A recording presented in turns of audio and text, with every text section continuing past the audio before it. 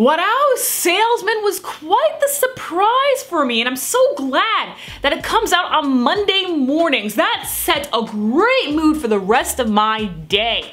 When I watched Warau Salesman, which I wasn't planning on watching, I only watched it because uh, one of my, um, uh, one of the people that I follow on Twitter retweeted the opening and I was like, ooh, this is one classy opening, let me check this out. And First thing that caught my attention was the art style. The art style reminiscent to that of Osomatsu-san, which was so refreshing for me. But when I read the comments on other people's reviews, a lot of people said that they're going to uh, drop it because of the art style. and I'm just all like, we still have those people around, why? Listen, I sat through all of Ping Pong the animation, and when you can sit through all of that, you can watch anything. So It's one thing if you're gonna drop the anime because you don't like the, the characters or you see it as too episodic and you're not really in the mood for something like that or you hate episodic series, but dropping it because of the art style, Ah, I can't stand that. I can't.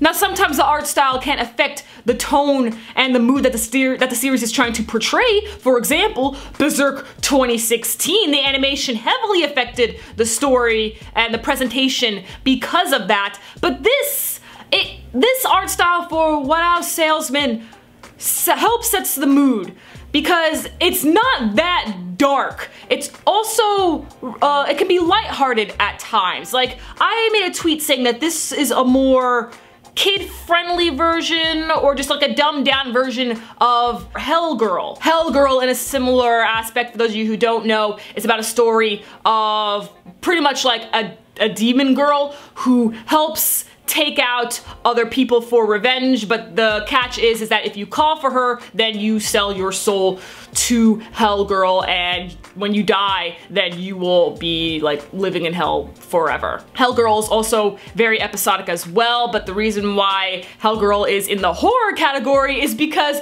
when she takes revenge, oh, is it gruesome, especially if you've seen the live action series.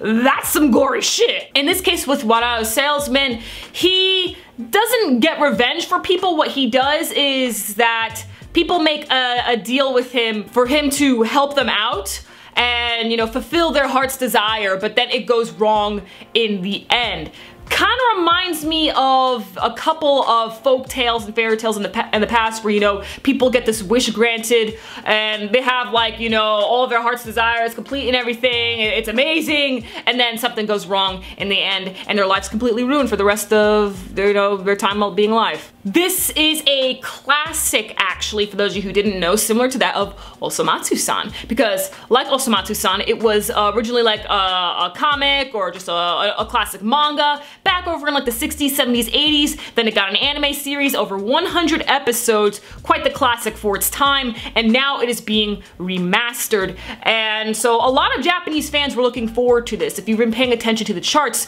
this was many Japanese fans like most anticipated anime of the season right behind Attack on Titan, and Attack on Titan was number one. It's definitely going to be heavily episodic, no doubt about that. The formula of it is that with each episode we get two clients and we see what their heart's desire is and how it goes wrong for them in the end. And that's how you get your entertainment throughout the rest of the episode. You wonder how is it going to go wrong. You learn just enough about the character to know what they want and to know like their their life story basically. Once you get a small piece of them you could understand them completely. Now could there be an overarching story like there was in Hellgirl because in Hellgirl's case at some point in the middle after it being heavily episodic there were these people trying to figure out how all these people were getting these like markings on their chest with this marking meaning that they're going to be sent to hell and stuff like that. They were wondering where these deaths are all coming from.